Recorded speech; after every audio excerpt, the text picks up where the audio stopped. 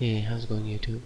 Uh, today I want to make a quick uh, tip video for any of you guys who may be using Hyper-V. Um, I did a video already before on how to enable Hyper-V on Windows 8 or Windows 8.1 um, but in this video this is kind of like a follow-up tip video on using Hyper-V for Windows 8.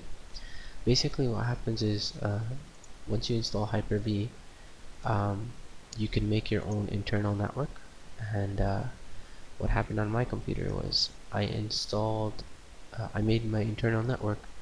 And then after that my actual uh, when I'm running whenever I'm running the virtual machines my host computer internet went really slow. So right now I'm, I'm just gonna show you guys how slow it is. So let's say if I want to go to bing.com normally it would just take a second um, to go but like as you can see it's loading and loading and loading.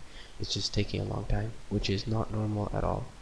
Um, so I found I found the cause the main problem for this. Uh, I did a bit of research on Google and then this is the solution. I'm gonna show you guys right now what the solution is to make uh, to fix this problem. Basically go to your control panel. I have control panel over here but you can also right click the bottom left of your Windows 8 go to control panel.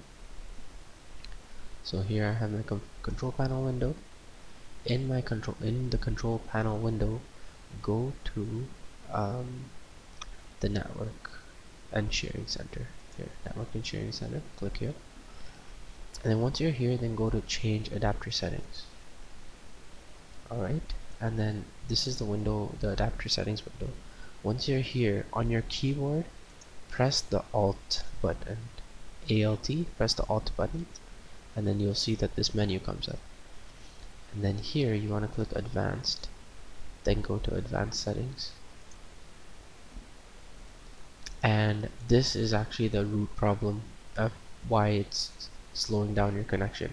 Uh, right now the way it's set is uh, the computer is set in in the order of priority it set the virtual network the internal lab network that I had made from Hyper-V. It set that above my actual internet.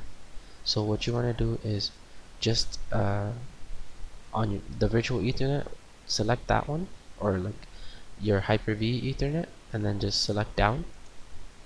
So that now you have your actual uh, actual computer internet um, adapter which is my local ethernet uh, you have that on top. So that gets first priority. All your in local internet browsing everything comes on top. So select that.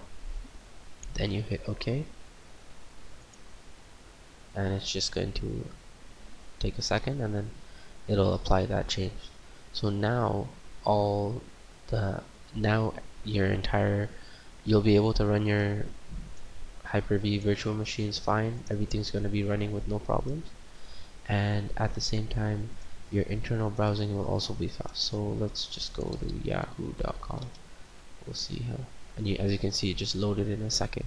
So um, yeah every your internal network and your external network it'll all be working fine with no speed problems at all. So um, yeah thank you guys for watching. Uh, this was just a quick tip video. I hope it helped you guys out. Please don't forget to comment rate and subscribe. And share this video with others as well to help them out. Take care guys